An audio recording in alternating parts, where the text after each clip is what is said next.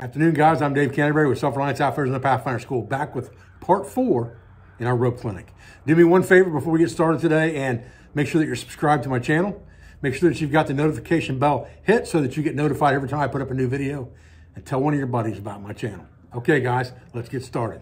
All right, in today's video, what we're gonna discuss is we're gonna discuss five midline or inline loops and what they're used for and how we employ some of that here at the Pathfinder School at our basic class. Okay, the first midline loop I want to talk to you about today is the running knot.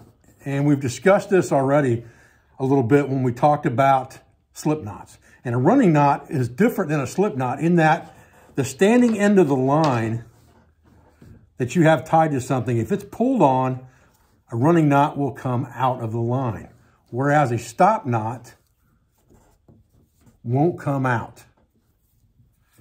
So a running knot is tied so that the loop comes from the standing end. And when it's pulled on, it comes out. Now, that loop, that, that running knot that most people call a slip knot is the basis for most misunderstanding with the trucker's hitch. When you make a trucker's hitch and you use this running knot, you're actually making a rope tackle.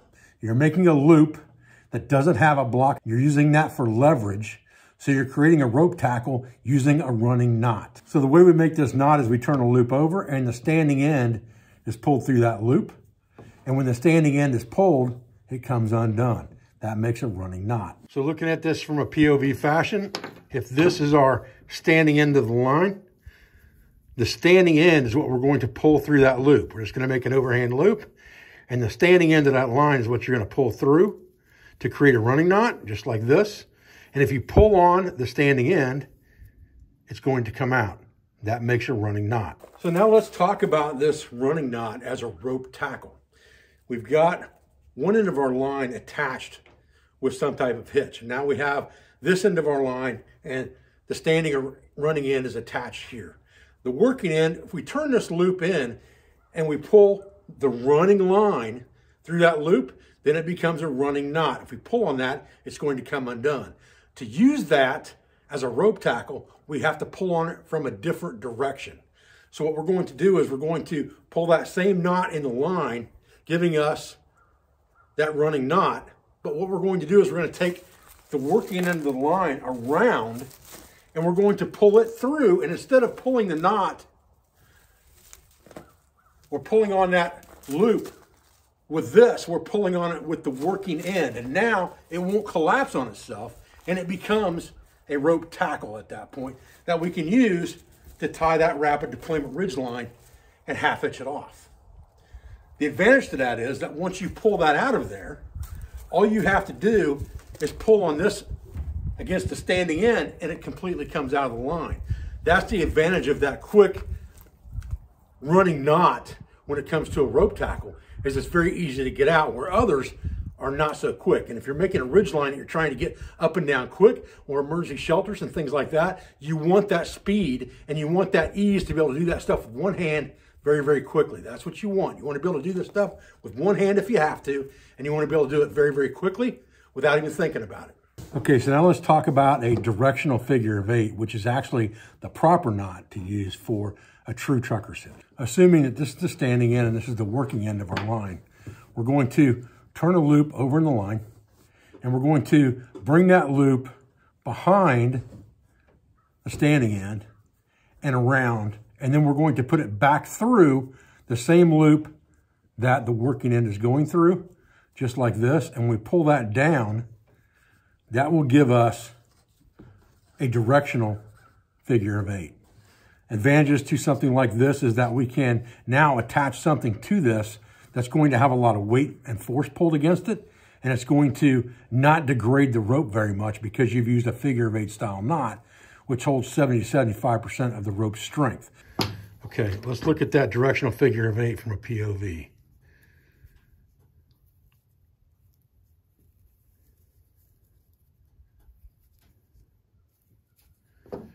Okay, let's look at this directional figure of eight from a POV. We're going to put an overhand loop in the line. We're going to come behind the line and through the loop on the same side that the working end is on, pulling away from the running end, just like this. That's going to give us a directional figure of eight. Okay, let's talk about the Alpine Butterfly. This is my favorite inline loop to use for block and tackle stuff. And we're just gonna lay the rope across our hand. We're gonna come up to the top and back down and cross these two lines. We're gonna take this line underneath that X and pull a loop through, just like this. And when we dress that down, we're gonna have a nice, neat alpine butterfly. That is a perfect inline loop to attach block and tackles to. All right, so for the POV, lay the line across your hand, come up over the top, just like this, come back down and make an X. Now we're just gonna take this underneath this X and back out. Dressing everything down as we go, just like that.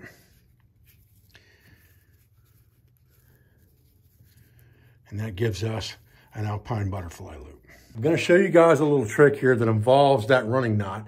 And we're also going to use our alpine butterfly in this demonstration as well for a block and tackle. Now, let's say you have a rafter up above you or a tree limb and you've thrown your rope over the top of that like I have here, but you wanna make sure that you can retrieve this when it's done. If you just tie something on here and pull it up tight, you're gonna have to climb up there to get it out.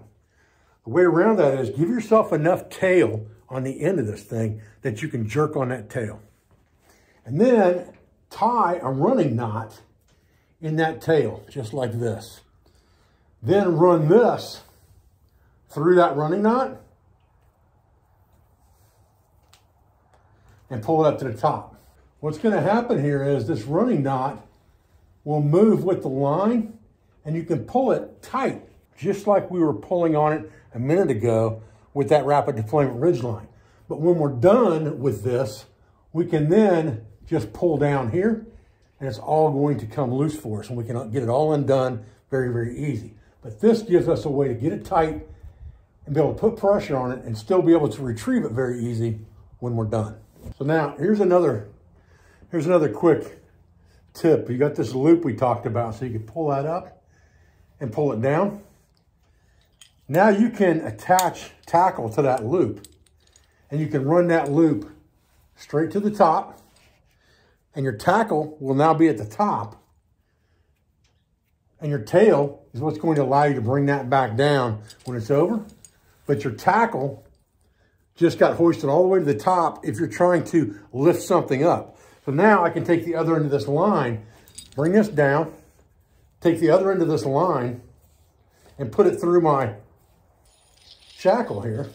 And now, whatever I've got here hanging off of this rope, whether it's another pulley at the bottom attached to something else for a block and tackle to get two to one advantage, I'm always pulling the opposite direction of that running knot.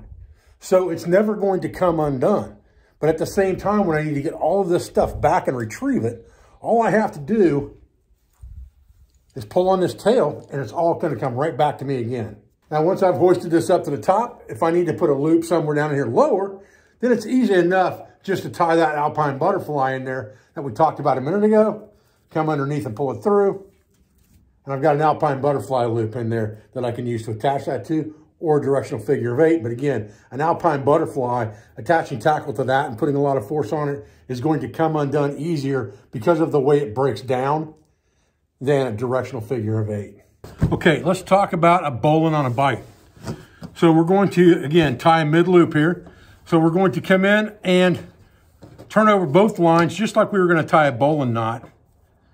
And we're going to come up through the loop just like we were going to tie a bowline knot. Remember that this part is the loop. We're going to take this and we're going to bring it over the top of everything. And then we're going to dress everything down just like this. And that's going to give us a bowline on a bite. It's a really confusing looking knot, in my opinion. It Drives me crazy sometimes because it's easy to turn it over and it doesn't act right. it becomes a slip knot at that point. You've got to get it exactly right so that it doesn't slip on you. If you let this portion here get out of control up in here, it's going to flip over on you like this, and then it's going to become a slip knot. You see, just like that. So you can't let that part get out of control and flip over on you. So we're going to tie this bowline on a bite. So we're going to turn this over just like a normal bowline, except we're using both lines. We're going to come up through here, just like we would on a normal bowline, understanding that this part here is the knot, and this is actually our loop. This portion has to pass over the top of everything. But you have to control this loop and you have to feed things through so that this line traps everything here at the bottom, like this, when you pull it tight. And then you'll have a non-slipping bowline on a bite. Okay, this last inline loop that I want to show you was one that I came up with kind of by accident. I haven't been able to find it anywhere, but I know I've got some good knot guys that watch my videos. So if you know the name of this knot, let me know. So basically what we're gonna do is we're going to create a running knot with a loop. So we're coming around here and we're creating a running knot with a loop here, just like this. Now, we're taking this loop, which is actually the part that's going to pull out, and we're to put it back over the top of these two loops and below the knot, and we're going to cinch that down on top of it, just like this. This is not a bowline.